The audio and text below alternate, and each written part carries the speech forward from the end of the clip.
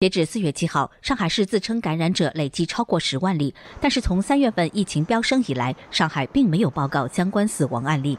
四月七号，上海市民黄健表示，微博上很多老人家属发帖曝光上海东海养老院的医护人员集体感染隔离，院内许多老人相继过世，但当局隐瞒实情。死了很多人呀，这个护理员不停的在换。没人肯做了，后来把这个呃，有人联系护士，护士不敢说真情的呀，说了真情，先把他把这个护士搞掉了，他把人解决了嘛就好了呀。对外说说话的人解决了，他你们都没法了，没没法通知你们了呀，媒体都不知道。另有知情人士在推特爆料，养老院四到六名老人住一个病房，交叉感染后无人照料。阳性遗体数应在三十到四十例，阴性遗体数暂不明。这可能是迄今为止上海疫情防控造成的最大规模的次生灾害。反正官方肯定说没死人，死也是正常的老死的。他叫家属去看尸体。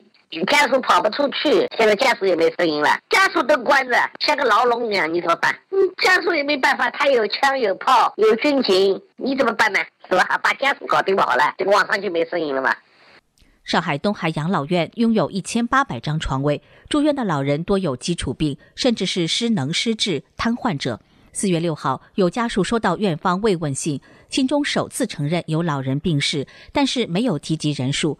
院方五号又告知家属已采购冰棺，遗体暂存在太平间，让家属授权委托书将遗体火化。家属们目前也因为封控无法出门，部分家属认为授权火化遗体不利于疫情追责，所以拒绝授权。目前多位死者家属联系武汉疫情受害家属张海。啊，因为这个疫情封控，这些老年人也没有什么人管，他就导致了这个。很多老年人失去了生命。目前呢是上海当局嘛，就是希望他们快点授权要火化遗体，但是很多家属都是很抵触的，又想追责。新唐人记者联系一位家属，他透露正商量维权对策，但拒绝接受采访。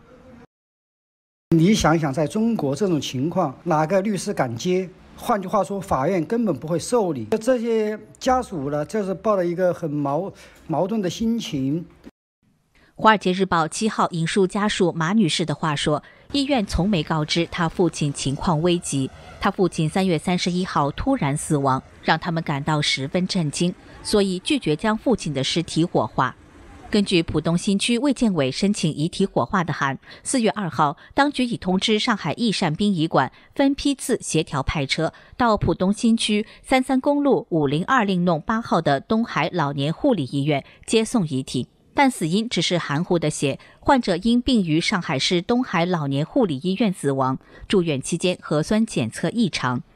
当天，财新网报道，久病区的一名护工说，他曾凌晨三点将一名死者抬出病区，注意到停尸房还存放着近十具尸体。四月一号，浦东殡仪馆称已有十几具东海养老院的遗体，另有遗体放在南汇殡仪馆。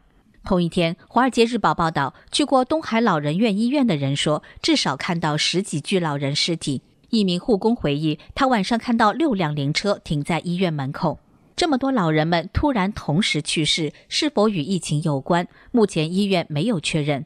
黄健说，他了解到的情况是，院内死亡人数在三月底已达三位数。啊，你想想看，养老院一要是能够收一千多的个老年人，他不可能只有二三十个人吧？具体数字，这老年人这个养老院多少人了？还有几个活着，我也不知道。老年人本身有基础的病了，再得到新冠，应该死亡率很高哎。现在不是老人死，再下去，上海老百姓都要死，一会儿这里出事，一会儿那里出事。上海有四百万年龄在六十五岁以上的老人，是中国老年人口最多和老龄化最严重的城市之一。